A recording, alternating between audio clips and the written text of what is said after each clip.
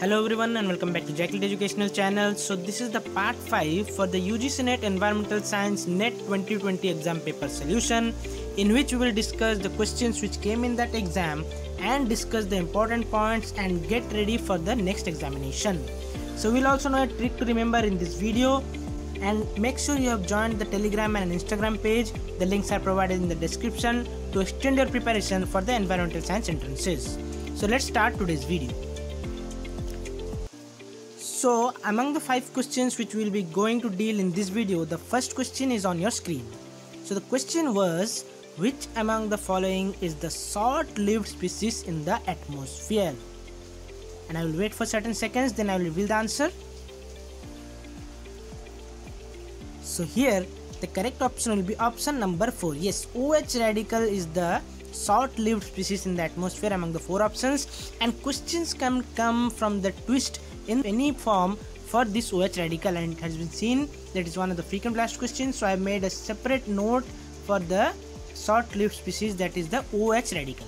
So OH radical is called as hydroxyl radical. And here why it is called as radical? Because it is not written as OH minus. So it is written as OH dot. So it is the short-lived species. It is called as short-lived species it is also called as atmospheric detergent you should note down all these things because question also came that which is called as atmospheric detergent it is also known as the atmospheric scavenger one more name is given that it is the one of the most reactive species in the atmosphere so why is it called a radical? So it is radical because it is having that electron which is unpaired. So the first and important thing for that radical is to react with other species and to make a pair. And it is highly reactive because it easily becomes hydroxy groups after reacting this OH radical that is hydroxyl radical it forms the hydroxy group. Again I am repeating this is different than the hydroxyl ion. So hydroxyl ion is noted as OH minus but this hydroxyl radical is noted as OH dot. So these are very important kindly note down. Let's move to the next question. The next question is coming up on your screen. The question is traditionally membranes have been classified based on the minimum size of the contaminant that is excluded from the passing through the particular membrane so this is talking about the membranes which are separating or cleaning the water mostly and they are because of the size of the contaminant that is coming out of that membrane so the question asks is arrange the following in the correct sequence of the decreasing pore size. So these are the different types of techniques in which different pore size are used to eliminate different waste material from the water mostly and you have to correctly sequence it in the decreasing pore size. So before knowing that we should know what is the pore size and all in the next slide. So here comes the brahmastra. That is the concept. You should know that four techniques are very important microfiltration ultrafiltration nanofiltration and reverse osmosis so in these steps the water is purified and different particles are segregated basis of the on the basis of the different pore size. So in the microfiltration, the pore size is 10 micrometer to 100 nanometer size and in the ultrafiltration you should write down that the pore size is from 10 nanometer to 100 nanometer. In nanofiltration, the pore size is from 1 nanometer to 10 nanometer and reverse osmosis is having the least pore size of less than 1 nanometer. So in the first step that is microfiltration, what are the things which are separated? Giardia, crypto and bacteria are separated and what are not separated they are colloids, viruses, color, hardness of the water, pesticides, salts and the water itself present.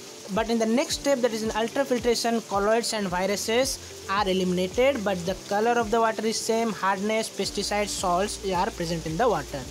Similarly in the third steps the color is removed that is we are getting a decent color for the water and hardness and pesticides are also removed but the salts and water are present in the water. In the last step that is very important in reverse osmosis mostly the salts are eliminated and we get the purified water. So it is very important you should note down all this and make this picture. So now it's time to answer this question that what is the correct sequence. So correct sequence will be option number 3 yes microfiltration will be first then followed by ultrafiltration then it will be followed by the nanofiltration and finally the decreased size that is the least size of the pore will be of reverse osmosis that is the fourth one. So what is the trick to remember? The trick to remember is that this says that mun and ro so that is microfiltration ultrafiltration nanofiltration and reverse osmosis. So that is the sequence of decreasing order. You should remember decreasing order of the pore size of the membrane for separating the contaminants from the water so the trick is municipality से हमें मिलता है पानी. So we get water from the municipality and then we treat it in the R O that is the reverse osmosis present in the Aquaguards which we are having in our home so from municipality we get the water and then we treat in the R O so Munro you can remember और municipality R O you can remember that means micro filtration ultrafiltration nanofiltration and reverse osmosis. So I hope it will be helpful for you. Let's move to the next question. So the next question is again on your screen. The question was asked in the 2020 net examination. The question was yaw control used in the wind turbine generator is a what? So i'll wait for certain seconds and already the picture is on your screen. You can easily answer. So here the correct option will be option number 2 yes yaw control used in the wind turbine generator is a mechanism to keep the rotor axis of the wind generator the turbine along the wind direction. So it is not along the perpendicular to the wind direction it is along the wind direction. So we'll see in this picture that this is the rotor axis in which the rotor moves. And here we have to keep the rotor axis along the wind direction. As you can see here the wind direction is given so from where the wind is coming that side the rotor axis should face. So that is along the wind direction and that is called the yaw system. So this is the yaw system which keeps the rotor axis along the wind direction. So let's move to the next question. So the next question is identify the correct sequence. So again one more sequence is coming up of steps involved in the development of a model. So this is asking about the environmental modeling. If you are doing for any work then what is the correct sequence?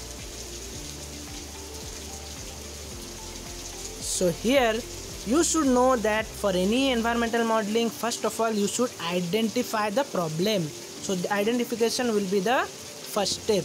Then what we will do? After identifying the problem we should formulate a hypothesis that this can be the possible reason this can be done. So that is the hypothesis formulation. So formulation will be the second step. After that what we'll do? We will find a solution to the problem. What can be done to treat or to prevent the environmental hazard? That is the solution that is coming to the third step. And finally we will validate all those things that is coming in the validation process. So here c will be first then followed by the b then d then a. So option number 3 will be the correct option in the sequence of development of a model. Let's move to the next question. So here comes the final question of this video. So this question is for a given noise signal. What would be the correct order of noise indices in terms of the increasing values? And the noise indices given are L10, L50, L1 and L90. So I'll wait for certain seconds and then I will reveal the answer. So here we will move to the next slide to know the noise indices and their levels. So as you can see the graph is in front of your screen and here on the x-axis we are having the time and when the y-axis we are having the sound pressure level in decibel so here the L10 is having the maximum value in this graph after that it is followed by L50 then followed by L90 here the minimum noise level is seen in the noise indices. So L10 L50 L90 all are the noise indices. And you should note down L1 comes above the L10 which is not mentioned in the graph but you should note down. So as you can see L1 will be the maximum value for the noise indices. The number is less that is 1 is less but 1 the noise indices value is maximum as the number increases that means L10 L50 L90 the noise level decreases. So that is the trick to remember. As the number value increases after the L the noise value decreases in the noise indices. So here what will be the sequence? I have said number is less but the noise indices will be more. That means L1 will be the maximum value but here it is asking in terms of increasing value. So we have to go from the lower to higher value lower will be the L90 that is 1 followed by L52 L10 will be 3 and L1 will be the fourth one. So D will be the first option followed by the B. That means option number 4 will be the correct option. So i hope you have learned something new from here and you have to learn that trick also that is municipality RO so see you guys in our next video. Don't forget to subscribe the channel for more such videos and all the best for your preparation. Keep smiling